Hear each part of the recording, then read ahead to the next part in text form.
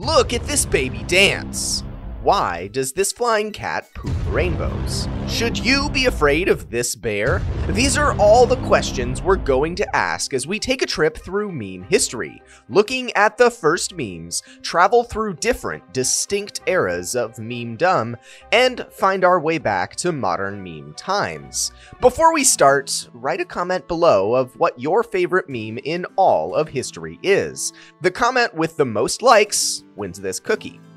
But what even is a meme? Well, the first use of the word meme dates back to 1976, where Richard Dawkins referred to memes in his book, The Selfish Gene, as he was trying to conceptualize ideas that spread throughout generations with core bounds.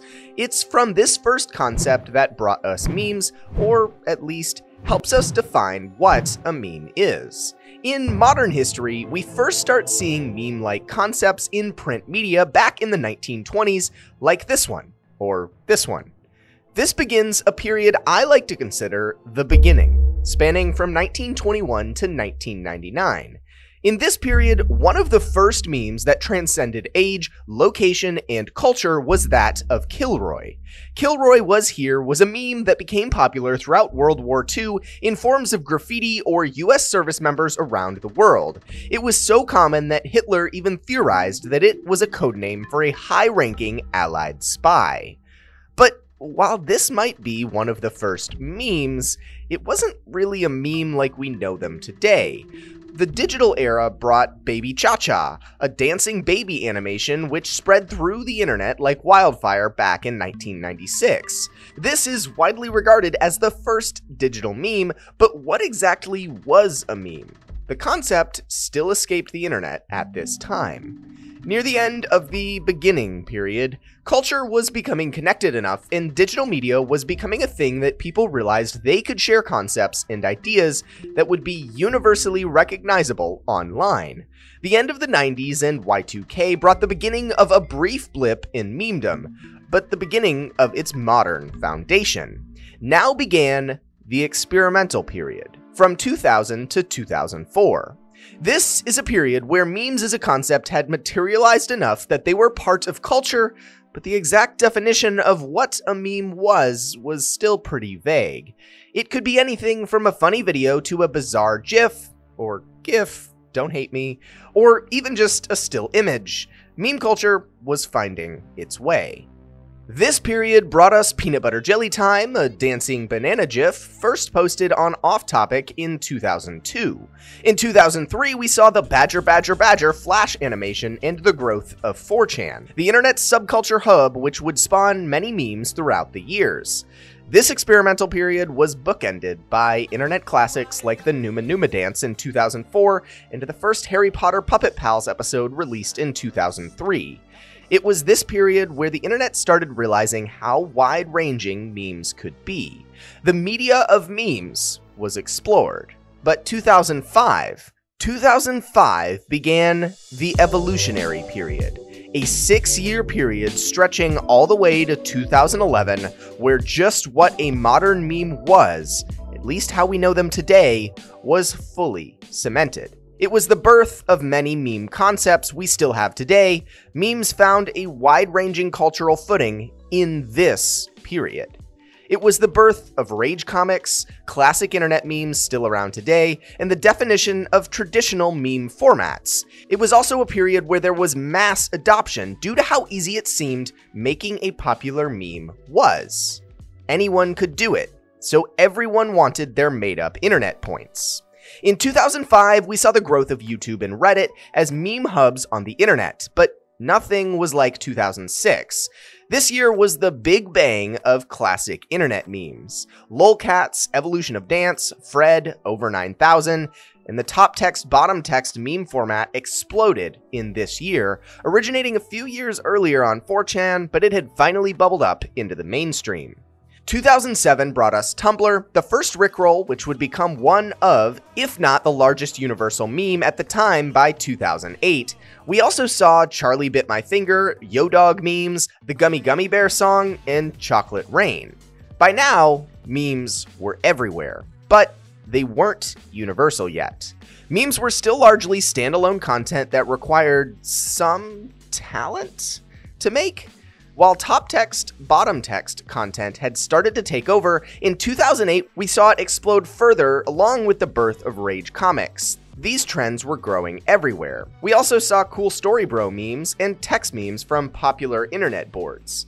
By 2008, anyone with enough internet knowledge could make a viral meme, and we saw this trend continue on for the remainder of the era.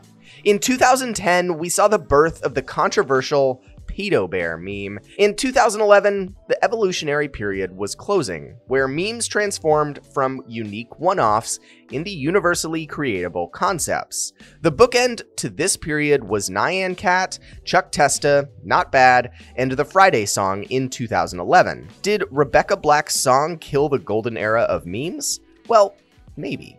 But it ushered in a period of meme dominance, but also subtle transition. The transitionary period, stretching from 2012 to 2014, was one of memes further defining themselves as the language of the internet, but also starting to develop into universal symbols for all ages. While this period built off the evolutionary years, it was a time where the idea of meme culture started to dominate the internet. 2012 brought the Ain't Nobody Got Time for That meme, face memes, and funny snapshots of people like Overly Attached Girlfriend and Bad Luck Brian. 2012 also brought us Grumpy Cat. But just like YouTube and Reddit fostered their own meme explosions, the birth of Vine in 2013 created its own explosion of video oriented short format memes.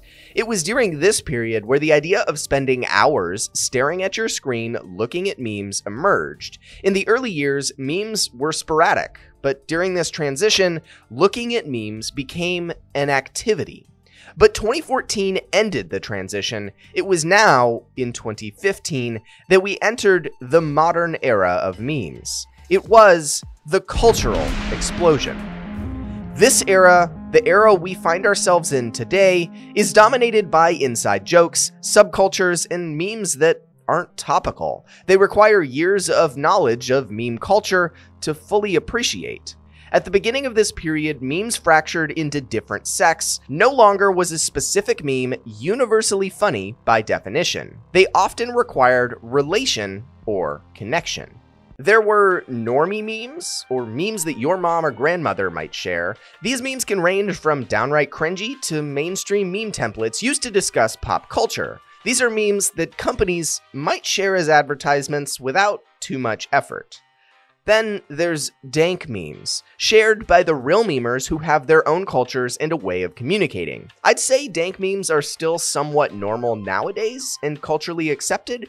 Dank memers evolved from being on the fringe at the start of 2015 to now what I'd consider fairly mainstream. Today we have another category for the fringe, the deep fried memes. The type of memes that, if shared, your friends and family might start to worry about your mental health. And of course, there's probably some deep, deep fried memes, but we're going to exclude that from the overall presentation of this video. But now that we've defined the fractures we saw grow in meme subculture, back to the memes we've seen in our modern era.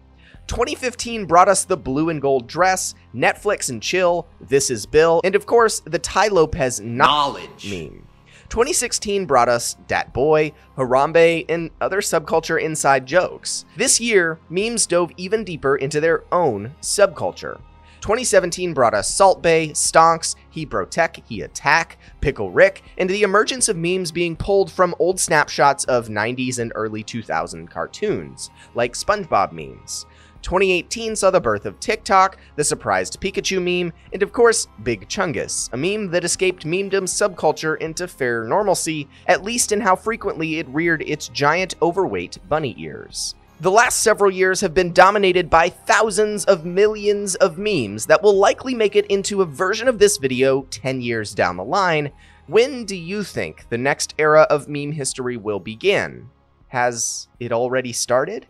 What do you think of this high level overview and breakdown of the history of modern memes? Be sure to leave a comment below and make sure you comment your favorite meme from all of history to see if it wins the cookie. Memes are now part of culture.